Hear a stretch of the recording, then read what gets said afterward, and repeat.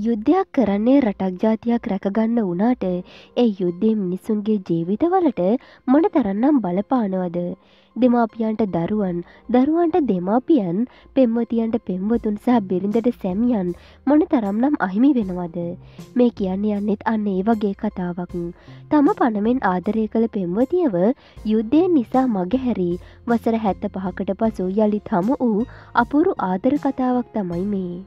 දෙවැනි ලෝක යුද්ධ සමයේදී ප්‍රංශයේ තරුණ සෙබලෙකි වූ කේටිය රොබින්සට සිය පෙම්මතිය මුණ ගැසෙන්නේ එක්දස් නමසය හතලිස් හතරේදී. එවිට රොබින්සට වයසවුරුදු විසි හතරක් වූ අතර ඇයට වයසවුරුදු දහ අටක් වුණා. යුද්ධය අවසන් වූ පසු රොබින්ස් ප්‍රංශය අතහැර යන්නේ නැවතත් ඇයව හමුවීමට එන බව පවසා පොරොන්දුවක් දෙමින් උනත් ඇය ඔහු එනතුරු බලා සිටියා මිස ඔහු නැවත ආවේ නැහැ. නැවතත් වසර හැත්ත පහකට පසු පසුගී දිනක රොබින්ස් ප්‍රංශයට පැමිණෙන්නේ දෙවන ලෝක යුද ජයග්‍රහණයේ හැත්ත පස්වනි සැමරුම සැමරීම සඳහායි. ඒ වන විට රොබින් සට වයිසවුරුදු අනු හතක්. එහිදී මාධ්‍යවේදී සමඟ කතා කරන්නට අවස්ථාවක් ලැබුණ අතර යුද්ධය මතක සටහන් මතක් කළ ඔහු සිය පෙම්වතියක් ගැනත් වචනයක් කතා කරන්නට අමතක කරේ නැහැ. ඒ අනුව ඇගේ කළුසුදු ඡායාරූපයක් පෙන්වා රොබින්ස් මාධ්‍යයට මෙසේ පැවසවා. මම එයට පොරොන්දු වුණා. නැවතත් ඇයව හමුවීමට එන බව. ඒත් මට එක කරන්න බැරි වුණා.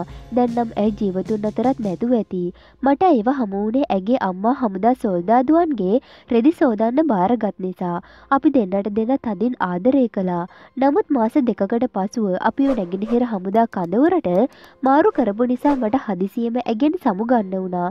නැවත එන බවට ඇයට පොරොන්දු වනත් අපිව ඇමරිකාවට යවා මාව බේකරි අංශයට යොමු කරා. තම පෙම්වතියගේ වෙන්වීමේ දුකින් කාලය ගත කළ රොබින්ස් කලකට පසුව වසර පණහක් තමා සමඟ එකට සේවය කළ කාන්තාවක් විවාහ කරගන්නේ ඇයට වයස අවුරුදු හැත්තෑවේදී. නමුත් දෙදස් පහළ වසරේදී ඇයිද මෙලුවිනි සමුගන්නවා.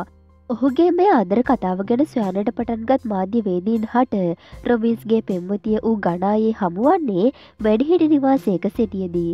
රොබින්ස්ගේ වෙන්වීමෙන් පසු ඇයාද විවාහවී දරුවන් පස් දෙනෙකුගේ මවක් වන අතර සැමියාගේ මරණයෙන් පසු විශ්‍රාමික වැඩිහිටි නිවාසයකට පැමිණ තිබෙනවා. තවත් කල් නොයවා මාධ්‍යවේදීන් විසින් මේ පෙම්මුතුන් යුවල එක් කරන්නට තීරණය කරා.